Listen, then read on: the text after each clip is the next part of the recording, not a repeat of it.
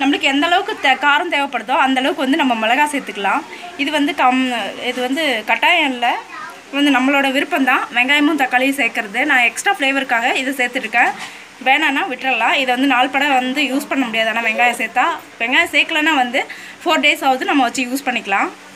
புளி பாருங்கள் ஒரு சின்ன ஒரு லெமன் அளவுக்கு நான் புளி எடுத்து வச்சுருக்கேன்.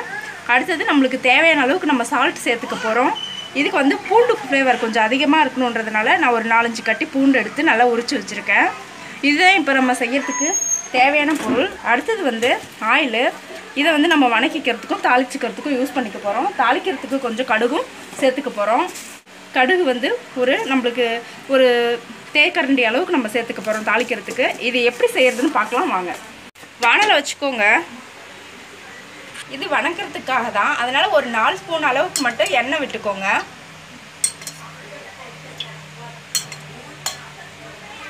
வரமிளகாயை இதில் வறுத்து வச்சுக்கலாம். எண்ணெயில் கொஞ்சம் இது நல்லா கொஞ்சம் நிறம் மாறட்டும்.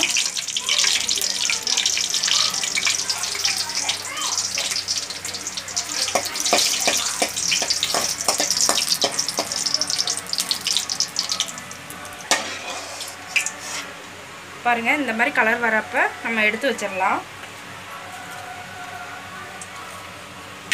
நெக்ஸ்ட்டாக வந்து நம்ம பூண்டு எடுத்து வச்சிருக்க பூண்டை வந்து இப்போ நம்ம யூஸ் பண்ணிக்க போகிறோம்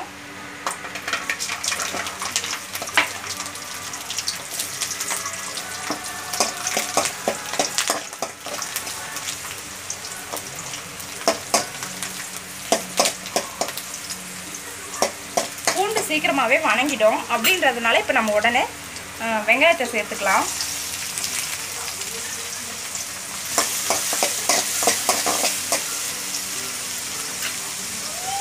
கொஞ்ச நேரம் ஃப்ரை ஆகட்டும். ஒரு வெங்காயம் அளவுக்கு தான் நம்ம இப்போ சேர்த்துருக்கோம். ஏன் நம்மளுக்கு எக்ஸ்ட்ரா இன்னும் வேணும்னா நல்லா இருக்காது. அதனால நான் ஒரு வெங்காயம் அளவுக்கு தான் நான் சேர்த்துருக்கேன். ரொம்ப அதிகமாக சேர்க்கல. அது மாதிரி ஒரே ஒரு தக்காளியை மட்டும் நான் எடுத்து கட் பண்ணி வச்சுருக்கேன். இப்போ வந்து ஓரளவுக்கு நம்மளுக்கு வெங்காயம் நல்லா வணங்கியிருக்கு. இந்த மாதிரி ஸ்டேஜில் வந்து நம்ம தக்காளியும் சேர்த்துக்கலாம்.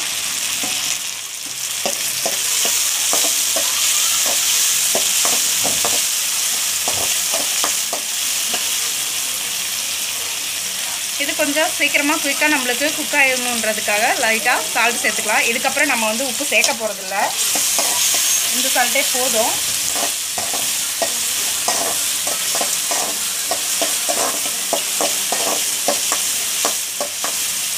எல்லாம் ஒரு அளவுக்கு நம்மளுக்கு வணங்கியிருக்கு. இப்போ வந்து நம்ம எடுத்து வச்சுருக்க கொத்தமல்லி தழையை இப்படி எடுத்து சேர்த்துக்கலாம்.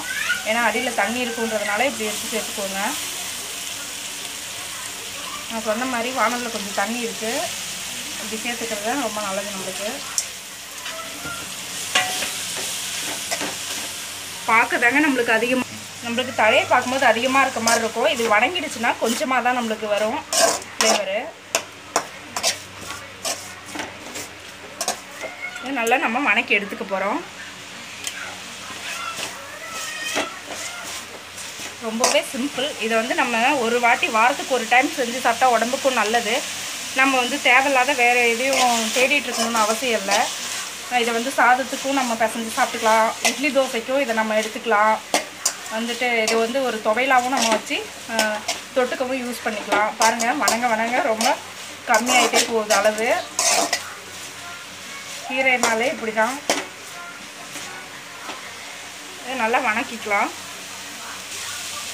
ஃபஸ்ட்டு நம்ம உப்பு கம்மியாக சேர்த்தது ரொம்பவே நல்லது.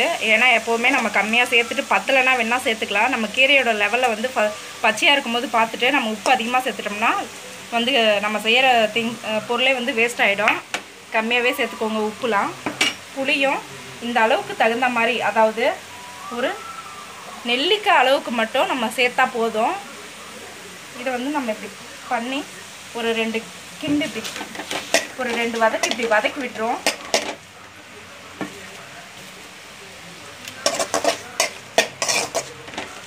அந்த கொட்டை வாசனை ரொம்ப வந்து மனசை கவருது. இப்பயே சாப்பிட்ணும் போல் என் தோணுது.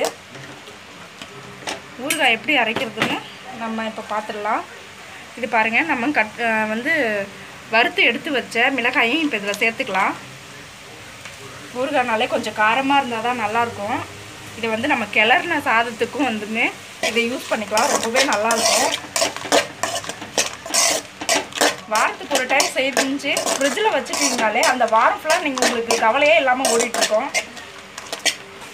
கேஸ் ஸ்டவ் ஆஃப் பண்ணிக்கலாம். இதை கொஞ்சம் ஆற வச்சு நம்ம ஊறுகாய் அரைக்க போகிறோம் வணக்கி வச்சுருக்க கொத்தமல்லி நல்லா ஆறிடுச்சு. இதை இப்போ நம்ம ஊறுகாய் செஞ்சுக்கலாம். மிக்சி ஜாரில் போட்டுக்கோங்க.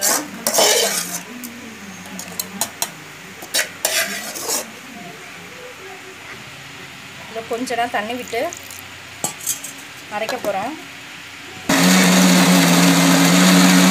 கம கமன்னு வாசனையோட கொத்தமல்லி ஊறுகாய் ரெடி ஆயிடுச்சு. இதை நம்ம ஒரு சின்ன பாத்திரத்துக்கு மாற்றிக்கலாம்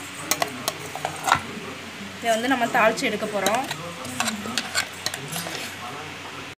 எப்படி தாளிக்கிறதுன்னு பார்ப்போம். வானல் வச்சுக்கோங்க. ஒரு ஆறு ஏழு க கரண்டி ஸ்பூன் அளவுக்கு நான் எண்ணெய் விட்டுக்கிறேன்.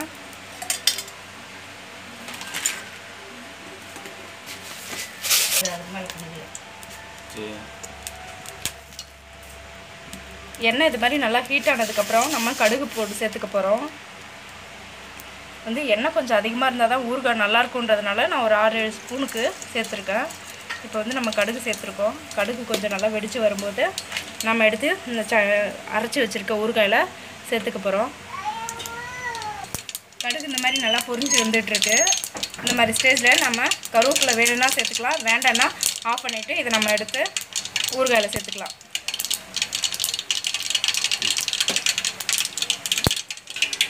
இப்படி கொஞ்சம் பள்ளம் பறிச்சுட்டு கொஞ்சம் கொஞ்சமாக ஊற்றி கிண்டி விடுங்க. அப்போ தான் எல்லா இடத்துக்கும் ஆயில் போய் நல்லா ஊறுகாயில் நல்லா மிங்கிள் ஆகும்.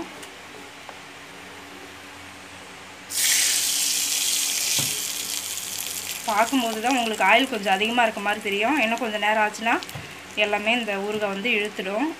ஆயில் இல்லாத மாதிரி தான் இருக்கும். இந்த மாதிரி ஆயில் எல்லா இடத்துலையுமே மிங்கிளாயிடுச்சு இப்போ பாருங்கள் நம்மளுக்கு கரெக்டான பதத்தில் இருக்குது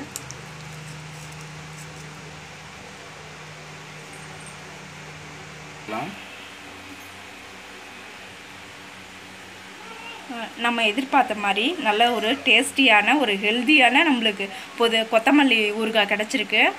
இது வந்து எல்லாரும் வந்து கண்டிப்பாக உங்கள் வீட்டில் ட்ரை பண்ணி பாருங்கள் நான் செஞ்ச மெத்தடில் க ட்ரை பண்ணி பார்த்துட்டு உங்கள் ஃபீட்பேக் என்னவோ அதை எனக்கு கமெண்ட்ஸில் சொல்லுங்கள் இந்த வீடியோ உங்களுக்கு பிடிச்சிருந்தா கண்டிப்பாக நம்ம சேனலை சப்ஸ்கிரைப் பண்ணுங்கள் மறக்காமல் உங்கள் ஃப்ரெண்டுக்கெல்லாம் ஷேர் பண்ணுங்கள் தேங்க்யூ ஃபார் வாட்சிங்